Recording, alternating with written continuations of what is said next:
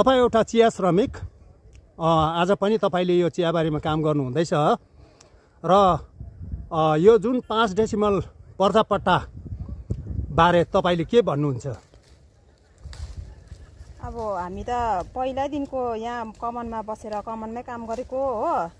हामी त लिँदैनौँ न मान्दैनौँ न। हामी त यहाँ कहिलेदेखि दुःख गरेको? हामी त ट्याक्कै मान्दैनौँ यो त।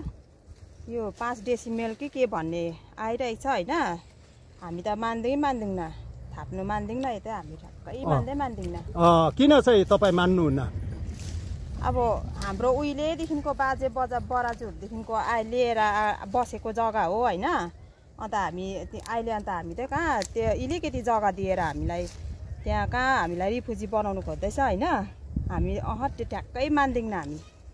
हामी बरु यही जग्गामै बस्ने हो यहीँ बस्ने यहीँ मर्ने।